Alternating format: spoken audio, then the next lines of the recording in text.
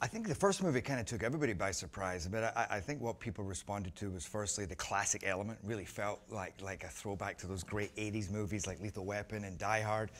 There was a lot of grittiness, a lot of great action, and those old, pure, 100% heroic characters who you know were just badass, loyal, and funny. You know those great one-liners. But I think as well it was just bold and audacious right from the start. That's when I read the script, I remember thinking, oh my God, we are just going for it here. Like up the ante immediately. So, and I think people really responded to that. If your first movie is good enough and people want another one, then you make another one. And, and uh, we, we immediately got pressure to, to uh, make a sequel. So, but I didn't know at the time, one, I was pretty beaten up for the first one, and uh, I didn't know that I really want to go and commit that to the second one because it did take take a, a, lot out of me. And then also I thought, where do you go?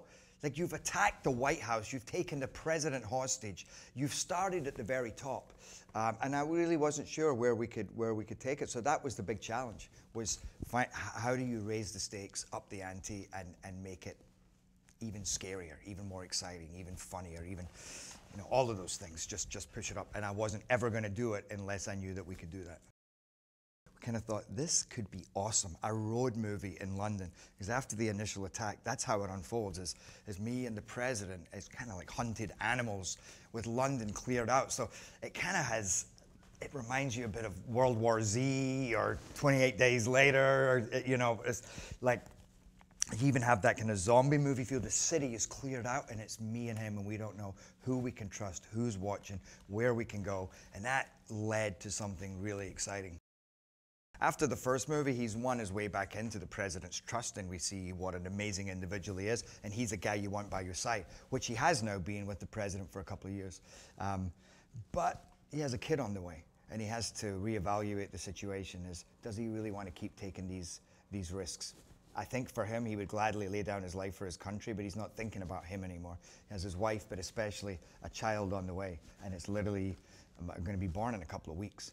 Um, it was not a great start for him because he's he's composing his resignation letter as as the movie starts because it's time to move on. And then of course he's called into one last one last project one last action.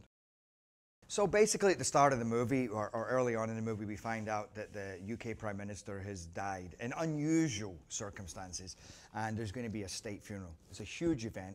There's going to be leaders from all over the world coming in. It's a security nightmare.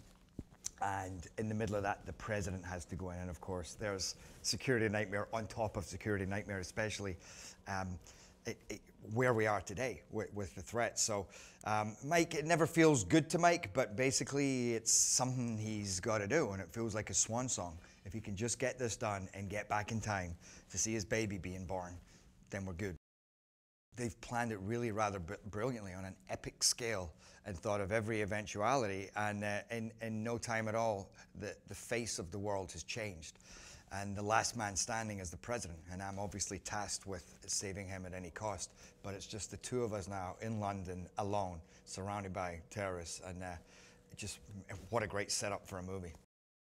To have Morgan Freeman turning up and Melissa Leo, Robert Forster, Aaron Eckhart. What a great cast to have coming to set every day, and that was, it was, um, it was exciting. At least the ones we didn't kill. You know, we killed a lot in the first movie, but but anybody we didn't kill, we brought back. And Angela Bassett, how could I forget Angela? She's just awesome. We had a lot of fun together because we're um, it was just you know the first movie. Even though we were on set together a lot, we didn't really have many scenes together. Just right at the start and right at the end. Whereas this movie is the opposite. We we don't start together, but for the rest of the movie, we are together until the end. And it was, you know, it was, it was a great experience. He's a good man. When Morgan comes on set, everything changes. You know, the crew get, it is incredible that the crew get so excited and he just ups everyone's everyone's game. And he's such a good man. Everybody fusses over him, but he doesn't need any fuss. He's like, hey, I'm here. I'm doing my job. I'm good. We're, we're all right and he's just in your face, but in the nicest, freshest way. He's got a great sense of humor, and um, it, he is. It's, it's, just it's just great to see him around. It's great to have him part of the movie. Well, it was just interesting to get a, a, a, another artist's take on where the franchise could go, and and Babak comes he's very much a man of his soul. Everything has to be kind of streamed through his consciousness and where has he had any previous experience of this? How can we make it meaningful and truthful to an audience? So I think he brought a lot of uh, sensitivity to the movie. And uh, he didn't have a massive amount of experience in action movies. Um, but we brought all the team and he knew where to say okay you guys do this and then and he brought his expertise and it was really a great kind of kind of union well, we're constantly having a plan ahead. You go, okay, what is the protocol here? And there's not like there is a hell of a lot of protocol for the President of the United States and his um, Secret Service protector next to him in the middle of London, which has been cleared out, which is partly to our advantage.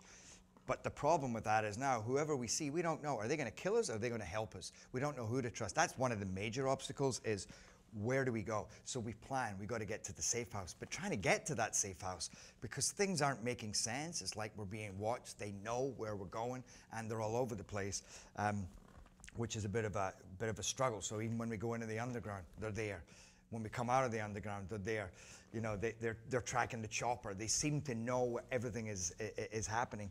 Um, and even at the safe house, where you would think we would be safe, are we really safe? It's I just never know which way it's gonna it's gonna go. There's nothing better than sitting in a cinema being excited, being scared, be uh, you know with your adrenaline going, thinking I don't know what's going to happen next, or being entertained, and uh, and and I think that's what this movie brings is. An, a, a fantastic roller coaster ride. It has you on the edge of your seat. It's incredibly visceral. Um, and uh, yeah, that's you know, what on a Friday and Saturday night, there's there's uh, nothing better than to go and see a movie like that, and also to buy into the, the notion of heroism, to be inspired, to to see people willing to lay down their lives for their their country. You know, the, the good against evil. I, I love those kind of stories, and I think audiences do too, which is why these movies do so well. He's not a superhero. He's a regular human being, but he's brilliant at what he does. He's incredibly tough and he's brutal. And that's one of the things I love about Mike. He's kind of unforgettable because he's punishing. Perhaps in an he's kind of an anti-hero sometimes when you look at him like that. He's he's definitely not the most perfect. He pushes too hard sometimes, and uh, but he's the guy you want on his side. Kind of reminds me a little bit of your like Leonidas in 300, where they're the heroes, but they do stuff that's pretty questionable, and I think that's what that's what Mike does. But at the end of the day, you want him having your back. It's always about getting as fit as you can, getting as supple as you can. Um, so as much of it is, is physio and, and stretching. Um, and then I work, always work with stunt guys, a lot of whom were Navy SEALs or SAS, and that's who I was training with in London and Bulgaria, um, and fighters, you know, martial artists and um, so right from the start, you start learning the choreography of routines. I've done a lot of fighting now, but each time you try to find what can you bring that's fresh, and, and that's what we did in this movie. Was like, okay, let's have a really cool car chase that you haven't seen for a while, and the fact that it's going through the streets of London is kind of awesome. Then you go, well, let's take it up into the air. Now we'll have chopper action amongst choppers, and then let's have action in the underground, and then we'll have SEALs that we thought were good guys, but are they? And let's have a fight in the safe house. And, and you're and, and you're bringing in guns, you're bringing in explosives, you're bringing in hand-to-hand knives. So you kind of get it all in the movie, and it's non-stop.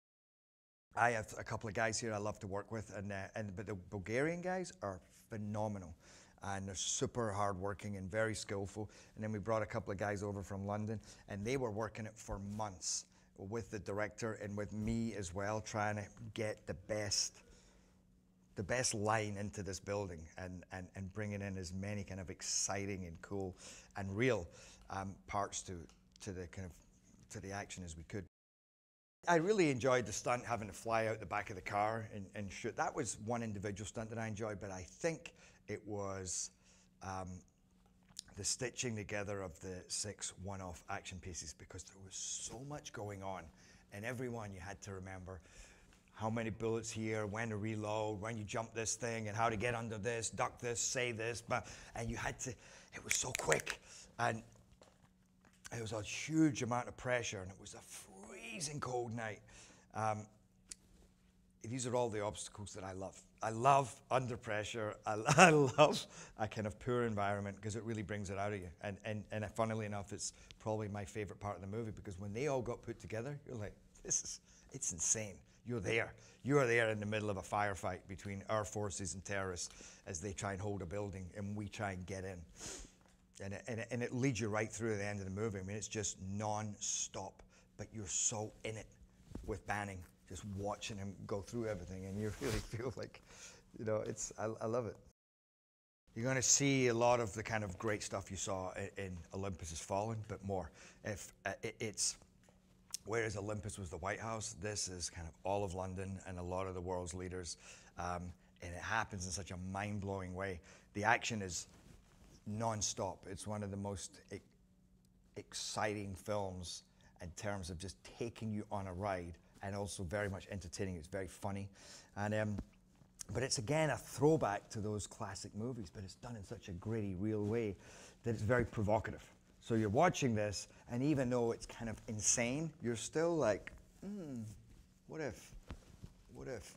And, and I like that, and that's something that we we had in Olympus as well, which was much as it was sensationalizing the idea, but the idea itself you play with and you go, hmm, that's actually very scary, but you get to watch it in a cinema and go home and be safe. But while you're in there, you're like, you're on that ride. Olympus centered around one building, which was great for a claustrophobic feel, but this centers around so much of London and you watch it unfold in a way that just blows your mind. But then you still get the claustrophobic feeling because it's two guys stuck together great friends, but both from very different walks of life. How are they going to deal with this? So you climb right into their psyche and how they get through this situation, and you go on this crazy road movie. So I feel like it has a, a, lot of what Olympus had and more.